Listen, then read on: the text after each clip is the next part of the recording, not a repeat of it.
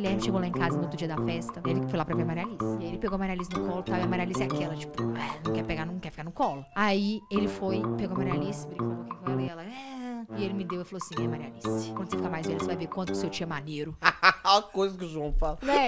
Não, não.